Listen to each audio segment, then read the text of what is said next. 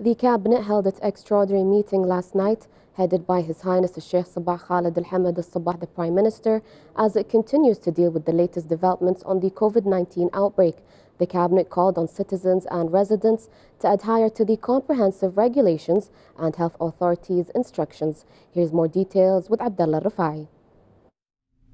The Council of Ministers held its extraordinary session last night via video communication, headed by His Highness Sheikh Sabah Khalid Al Hamad Al Sabah, the Prime Minister.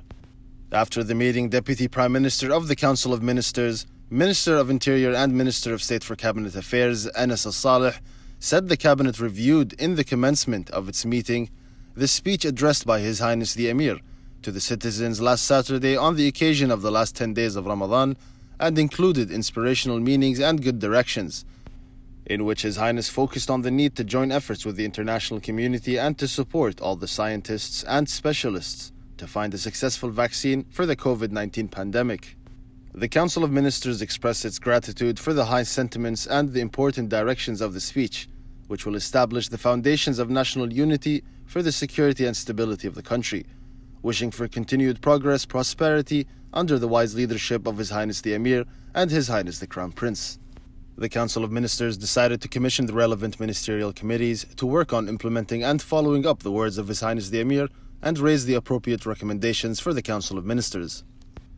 Next, the Council of Ministers reviewed a plan presented by the Foreign Minister Dr. Ahmed Nasser Mohammed Al-Sabah, entrusted with securing the repatriation of citizens abroad, as he detailed the preparations for the return of citizens from Saudi Arabia through Al Nuwaysib border checkpoint during the period from 12th to 20th of May.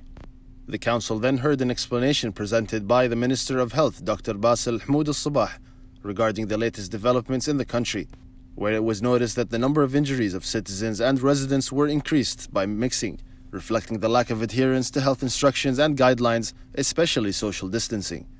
The minister added that the health situation is still under control and the situation is being dealt with as the number of injuries is expected to decrease after the implementation of the comprehensive curfew in the country.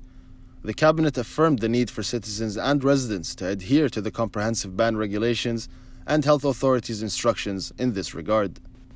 Later, acting Minister of Oil and Minister of Electricity and Water, Dr. Khalid Al Fadl, and a number of officials at the Ministry of Electricity and Water presented a visual presentation on the readiness of the ministry for the summer of 2020 and the possible effects on the electricity generation sector in the state of Kuwait from the repercussions of the outbreak of COVID 19. The Cabinet expressed its satisfaction with the good preparations made by the Ministry of Electricity and Water in the face of the summer season.